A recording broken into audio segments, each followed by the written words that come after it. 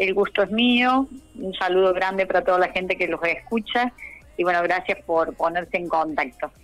Bueno, Alejandra, sabemos que eh, dentro de pocos días se viene un maratón espectacular, eh, digamos, para que todos aquellos se quieran sumar y participar de un lindo encuentro que se va a estar desarrollando en Villa Santa Rosa el domingo 6.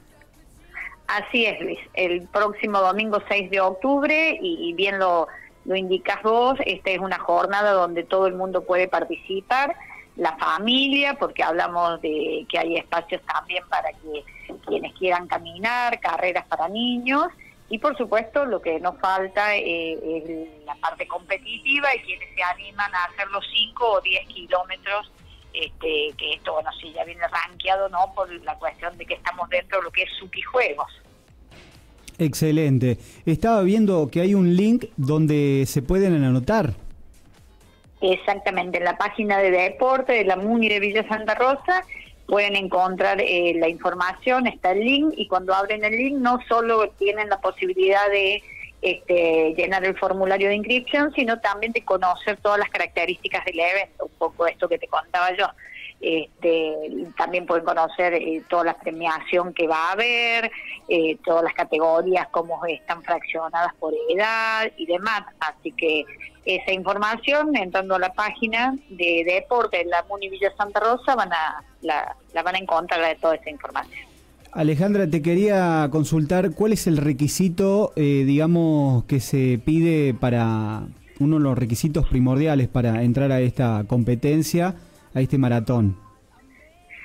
No, mira, no como requisito no, se, sí, este, de todo aquel quiere quiere participar en, la, parte competitiva se les hace firmar un deslinde como una declaración jurada donde dejan constancia de que gozan de buena salud.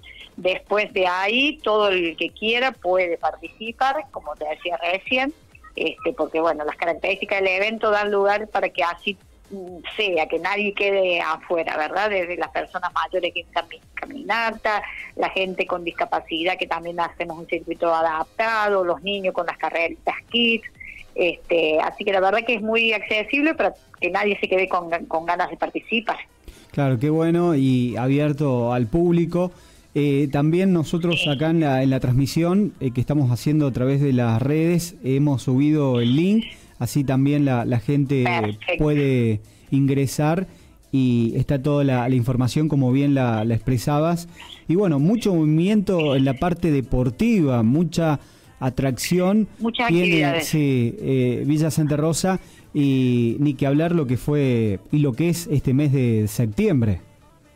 La verdad que sí, que venimos este, trabajando mucho, venimos trabajando mucho, trabajando con distintos extractos, ¿no? En cuanto al alcance que, podemos, porque llegamos a trabajar con las instituciones educativas, con los juegos brocherianos para la nivel primario y secundario, trabajamos con Suki Juego, que es este, mancomunadamente con los municipios, este, tenemos proyectos asociados al área de turismo también, para quienes quieren visitar el Parque Brocheriano, hacen toda una actividad recreativa, eh, bueno, hoy en este momento en el predio del Polideportivo tenemos más de 250 chicos de todas las escuelas rurales de la zona que también vienen a hacer actividades eh, físicas y, deportivas acá. La verdad que se trabaja mucho y, bien, este, con todo el apoyo del intendente, porque no dejan de ser espacios realmente preventivos, porque trabajamos con niños y jóvenes, trabajo trabajamos fuertemente la, la, cuestión de la salud a través de la actividad física y bueno, y no nada menor que el desarrollo ¿no?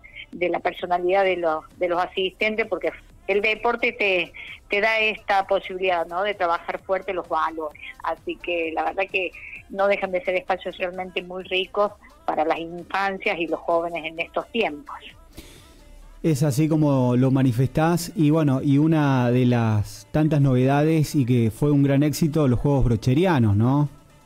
Exactamente, los Juegos Brocherianos, este, bueno, pensamos en esto, ¿no? En la posibilidad de eh, trabajar conjuntamente con las instituciones educativas, poniendo en, en foco eh, el encuentro con el otro, eh, unidos por el deporte y sacando eh, de vista el resultado ¿no? y la competencia y eso creo que fue lo que marcó la diferencia y que hizo que esto se desarrollara realmente con, con mucho éxito, a Dios gracias, este fue muy bien visto para las familias, este porque no dejamos a nadie afuera, todos podían participar, no se hizo selectivo, o sea, no, no traigan el mejor equipo, traigan todos los chicos a participar y creo que eso es lo que ha caído muy bien y bueno, no la sociedad, en realidad la comunidad nos ha hecho saber este, que los chicos han quedado realmente muy contentos, incluso algunos con ganas de seguir haciendo y participando, así que bueno, a seguir trabajando en esa línea.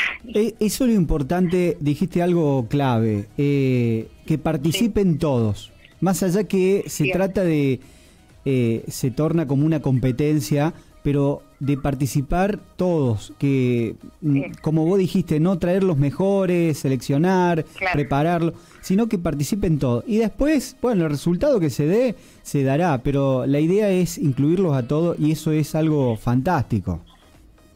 Y sí, la verdad que este, nosotros hemos eh, trabajado fuertemente en eso porque a veces los mismos adultos somos los, primeros en, en, entender este, cuál es el verdadero objetivo y, y de lo que buscamos, ¿no es cierto? Y nosotros lo que buscamos es promoverlo al deporte como, como, esto, ¿no? Como un elemento clave en la formación de los chicos y entonces no podemos dejar eh, la competencia que excluye, que genera a lo mejor este eh, por ahí para quienes todavía no están acostumbrados a, asumir resultados este, desfavorables. Entonces, sacando de foco eso, hemos hecho equipos mixtos, los varones y las chicas, eh, y la verdad que se ha visto eh, que ha sido muy positivo. Y en esa línea vamos a seguir trabajando porque es a lo que apostamos, ¿no? Un espacio que incluya a todos. Exactamente. Alejandra, eh, también me hablabas sobre otra de las actividades que se vienen para el mes de octubre. Claro, octubre tenemos dos eventos importantes. Ahora este domingo 6, la maratón, y a fin de mes, el 27, tenemos el Rural Bike, la competencia del Rural Bike. Así que también estamos trabajando ya para eso.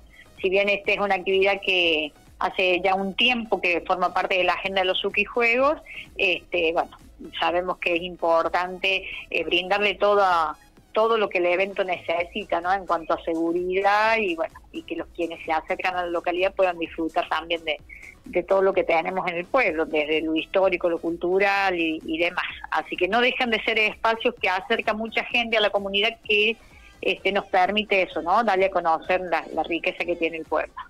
Te quería preguntar eh, sobre mm, el evento, la, actividad que van a tener el, 6 de octubre con el maratón. Eh, contame un poquito en diagrama eh, a dónde sería el lugar, cómo sería el trayecto. Bien, mira, nosotros eh, vamos a concentrarnos en lo que es la Plaza San Martín, eh, que tenemos ahí la iglesia, tenemos la municipalidad, bueno, ahí va a estar el punto de salida.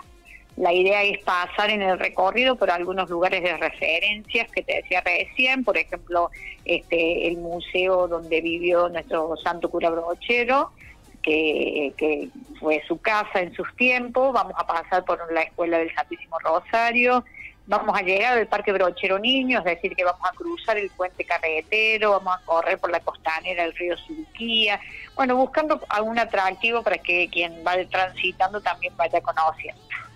Qué lindo, qué bueno, y además eh, lo que ofrece eh, Villa Santa Rosa, todo ese, ese paisaje y demás, y bueno, también de lo cultural eh, yo creo que es imposible hacer la caminata o, correr este trayecto aburrido, porque ves diferentes lugares, imágenes que te motivan a, seguir para adelante.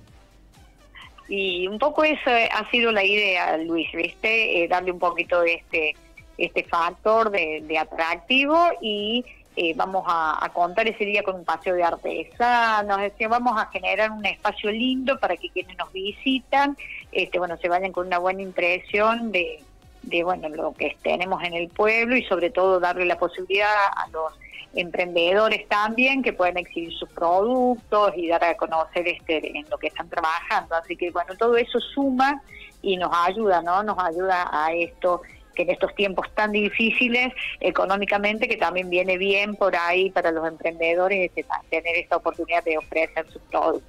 Sí, vos mismo lo, decís eh, y es algo bueno que el municipio, el intendente, eh, lo tenga en cuenta porque a la hora de hacer estos, estas actividades deportivas, recreativas, eh, también incluir a, otros sectores en lo económico y también ayudar y fortalecer y darle un empuje de crecimiento. Seguro, seguro, sí, sí, creo que eh, como bien lo, lo, indicas vos, es importante este, no perder de vista eh, estas oportunidades que nos dan este tipo de, eventos, ¿no? Desde, en este caso, desde lo deportivo.